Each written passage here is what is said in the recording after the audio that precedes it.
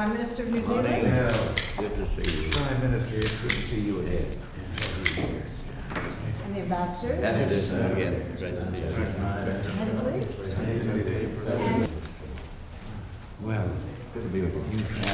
Oh, hello. How are? Great to see you, sir. Nice to see you. Ambassador. How are you, Nathan? Sure do. Pretty good. Hope I'm not waking you up. Oh, I think you and I are to go out and let the press have a crack at us with photos, not questions. And then we'll come back into the cabin. Okay. So we have our. Traveling through on. How are you? Yes, indeed. Running, suit, you know, running off the plane. That's right. Oh, no, no. Well,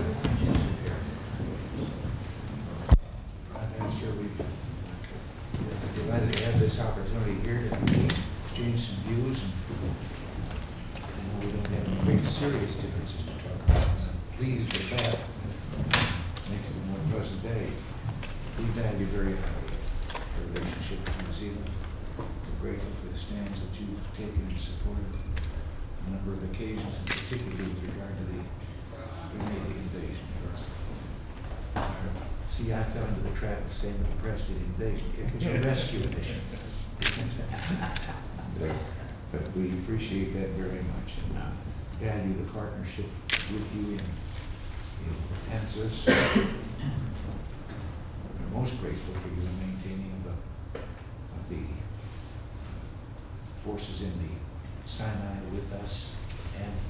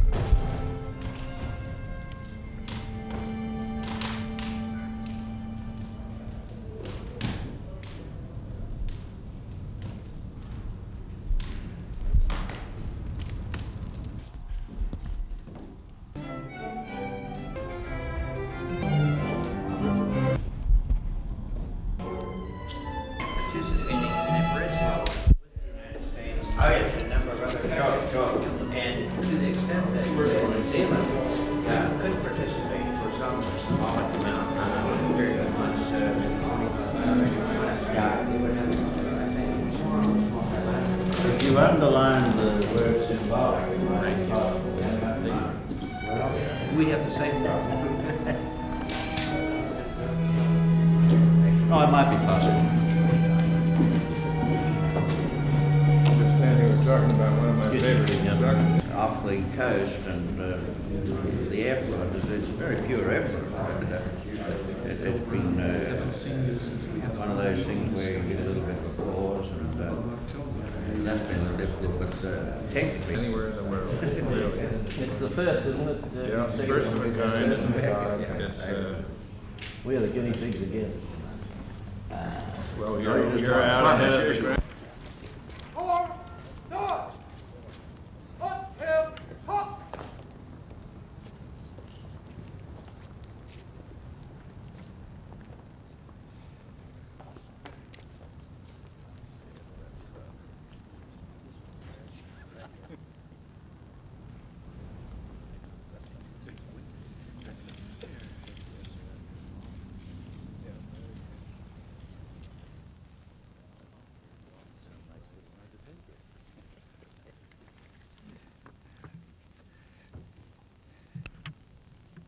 I am delighted that Prime Minister Sir Robert Muldoon has once again come to Washington.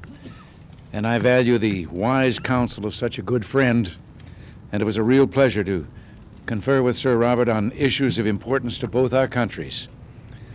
The Prime Minister's thoughts on the international economic situation have been most helpful. His breadth of experience in international finance as finance minister and as prime minister is matched by very few people. And I sincerely appreciate his insights on these important international issues. I also want to thank Sir Robert and all New Zealanders for the key role they play in the South Pacific, a region which should serve as a model for the rest of the world. The South Pacific is tranquil, respects human rights, and has peacefully developed democratic institutions and self-government. These accomplishments would not have been possible without New Zealand's development assistance programs. New Zealand's contributions to stability and security extend far beyond the South Pacific. We see them as far away as the Sinai Desert and in Singapore. And we have special appreciation for, Sir Robert, your commitment to ANZUS, an alliance which has assured our mutual security in the Pacific for more than 30 years. I might mention that our ANZUS partners, New Zealand and Australia, are our only allies who have been at our side in all four major conflicts of this century. The strong bonds between our two nations reflect our common values, shared history, and mutual interests. We are more than good friends, and I am especially grateful to Sir Robert for his untiring efforts to further strengthen our close ties. We will stay in close touch in the future. And Sir Robert, I thank you for coming to Washington, and on behalf of our countrymen, wish you Godspeed during your visit to America and a safe journey home. thank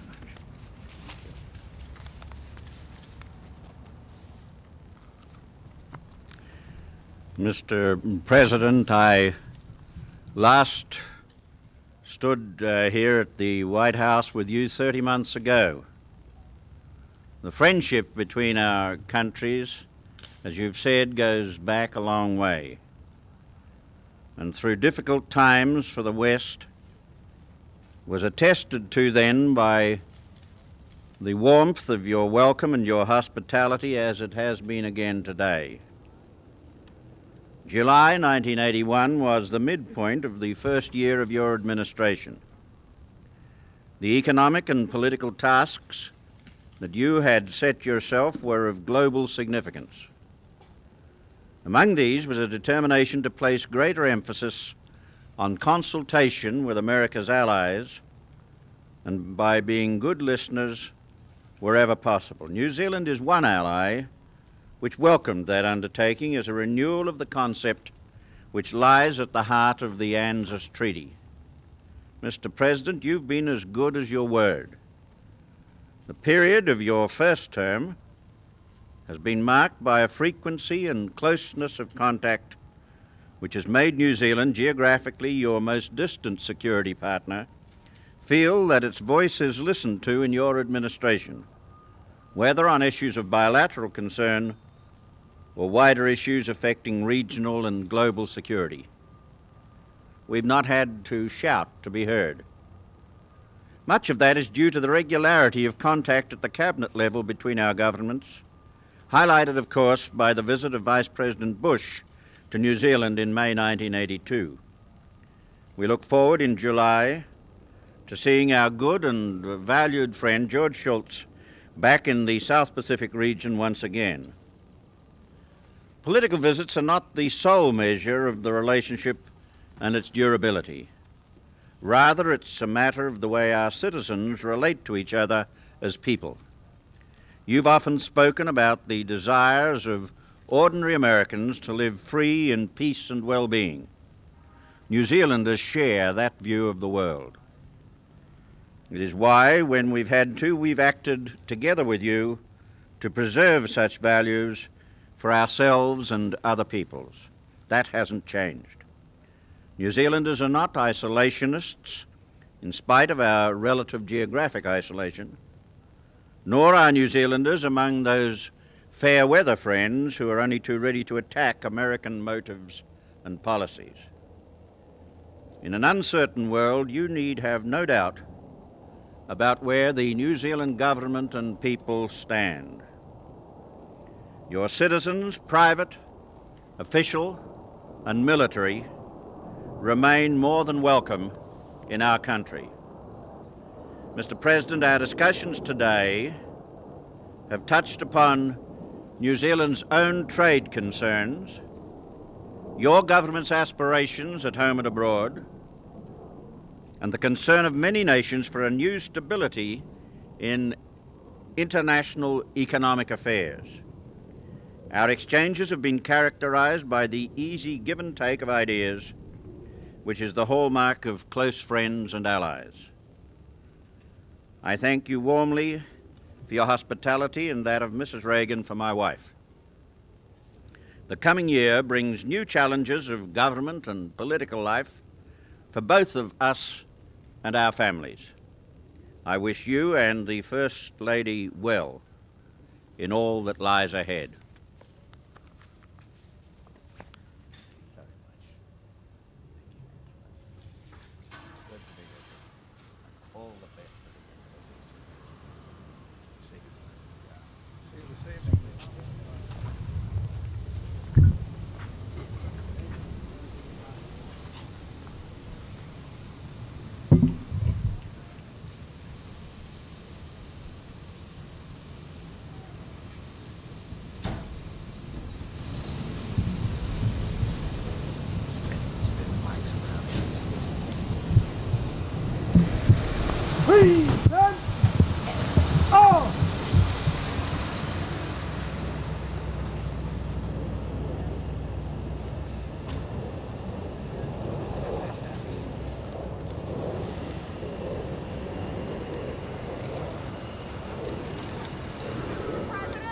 the budget deficit.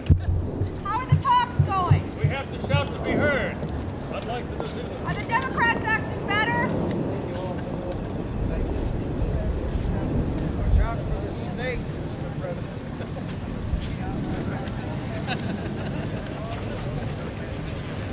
Oh no!